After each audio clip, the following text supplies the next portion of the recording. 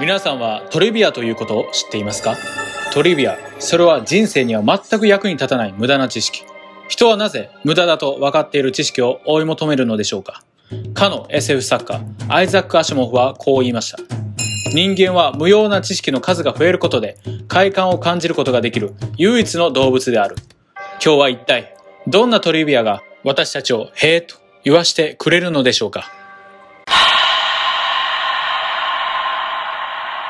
重複指名です。第一巡選択希望選手北海道日本ハム清宮幸太郎ファイターズも清宮幸太郎を指名しました。プロ野球ドラフト会議で1位指名された瞬間、会場から悲鳴が上がった選手がいる。さあ、これはどういうことなのでしょうか？こちらが確認の VTR です。ドラフト会議とは、プロ野球各球団がその年の有望なアマチュア選手を指名し、交渉権を獲得する会議のことで、特に1位指名では、その年の目玉選手が指名されることから、選手名が読み上げられるたびに、会場の観客から大きな歓声が上がるのだが、プロ野球について詳しい大丈夫研究所の大丈夫博士はこう語る。はい、確かに。ドラフト1位指名されて悲鳴が上がった選手がいます。それは2016年に行われたドラフト会議で、阪神タイガースが白鴎大学の大山祐介選手を指名した際に起こりました。実際にご覧ください。第一巡選択希望選手さあ阪神大山祐介内野手白鴎大学の大山選手野手を指名してきました金本監督確かに、ドラフト1位指名されて、悲鳴が上がった選手がいた。この年の阪神の1位指名は、当時ドラフトの目玉だったオービリン大学の佐々木千早投手が有力視されており、阪神ファンも佐々木投手の1位指名を期待していました。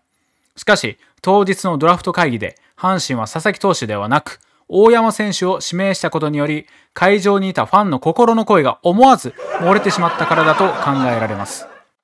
さらに、大丈夫博士は、その詳細を教えてくれた。2016年の阪神タイガースは、金本新監督のもと、良いという成績に終わり、投打ともに核となる選手の補強が急務だった。そこで将来的に投手の核を担う逸材として当初佐々木投手の1位指名が濃厚と見られていた。しかしドラフト会議前日金本監督を含めた阪神のスカウト陣が一堂に会して行われたスカウト会議で来年のドラフトは野手が少ないという意見が上がり急遽大山選手を指名する方針に転換。そしてドラフト会議当日次々と各球団の1位指名選手が読み上げられ阪神と同じく佐々木投手を1位指名する報道が出ていたヤクルト西武は他の選手を指名。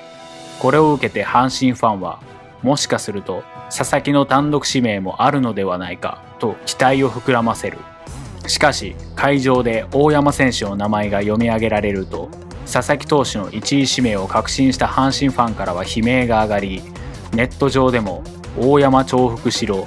伊藤隼太の再来などと辛辣な書き込みが相次いだ。さらに肝心の佐々木投手はどこの球団にも1位指名されずその後くじを外した5球団によって競合となったことからもし阪神が佐々木投手を指名していれば一本釣りでき大山は2位で取れたのではと阪神フロントに対する批判が集中した。しかしその後阪神に入団した大山選手は現在阪神の4番としてチームに欠かせない存在となっており今ではあのドラフトは大成功だったと評価されている。ドラフトで指名された選手には長期的な目線で温かく見守ってあげてください。ということでいかがだったでしょうか？2016年の阪神は1年通して3塁のレギュラーが固定できずさらに一塁手のマウロ・ゴメス選手の対談もあって1、3塁を守れるスラッガータイプの内野手の獲得が急務でしたまた阪神同様3塁手のレギュラーを固定できなかったオリックスが大山選手の上位指名を匂わせていたこともあり、オリックスよりウェーバー順が後ろの阪神が大山選手を獲得するためには1巡目を使わないと難しかったとも言われています。